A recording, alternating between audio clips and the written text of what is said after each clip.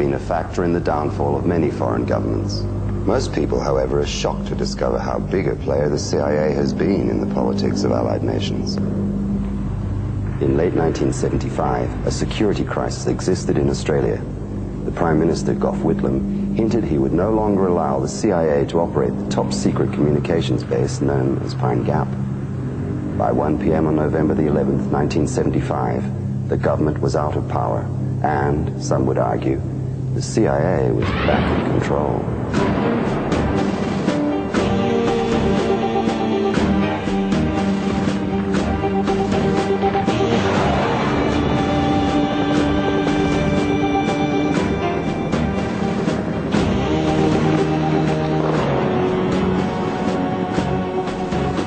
Well may we say, God save the Queen.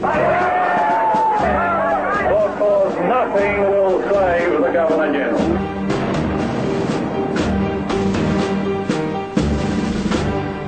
It's taken 18 months to assemble Pine Gap from prefabricated buildings. Now, no aeroplane can fly closer than two and a half miles to the base. The secrecy is total.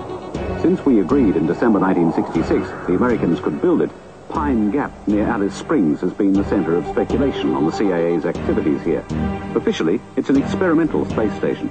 Pine Gap was to be a joint facility run by the Defense Departments of Australia and the United States. Stallings and another senior CIA man, Victor Marchetti, drafted the Pine Gap Treaty laying out the ground rules for cooperation between the two governments. Officially, this executive agreement between the Australian and US governments stated that all surveillance information gathered at Pine Gap would be shared equally.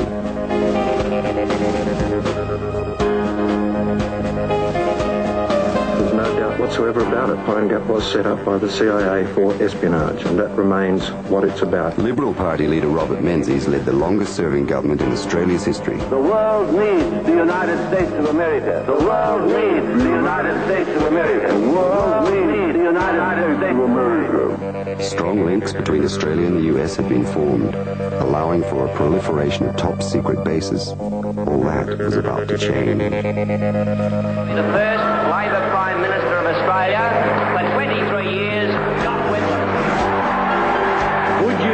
You your international affairs again to the men who gave you Vietnam? It's a choice between the past and the future. It's time for a new government. When the Whitlam government was elected in 1972, there was considerable concern in Washington. Uh, both raised the question of the American military installations uh, in Australia with particular reference to the secrecy uh, surrounding them. Uh, could you indicate uh, the policy your government will take on these questions? There now need be no secrecy because uh, Mr. Barnard and I can find out whatever we want to. Christopher John Boyce is serving 42 years in a state penitentiary for counter-espionage.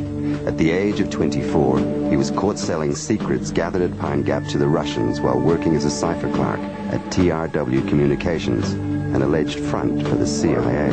They were going to cut the Australians out of the existing information that was coming down. But in any case, it was a uh, screw the Aussies type project. It didn't take very long for the Whitlam government to get itself offside with the Nixon administration.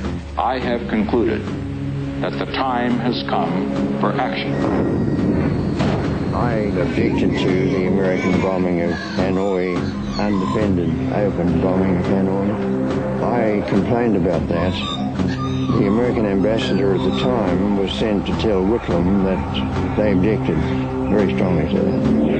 And when we saw this Whitlam government come into power, moving in, barging in, we were deeply concerned They were frightened of the small degree of independence being displayed by the Labor government. The Labour government was regarded as a security risk by the United States, and the United States at an official level would have done everything they could to have it removed. You don't see the jewels of counterintelligence being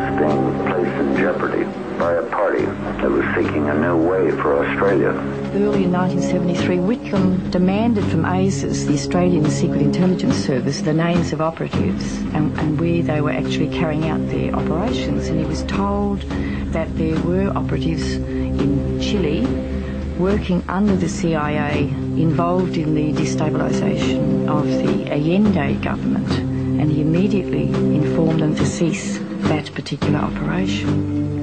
They didn't, and at least two of our operatives were there in September 73 when that bloody coup took place that toppled Salvador Allende. Enter Marshall Green, the new American ambassador to Canberra, a senior career diplomat heavily involved in at least three coups, most notably the one in Indonesia. Marshall Green actually stated that if the Australian government dared to in any way take the power away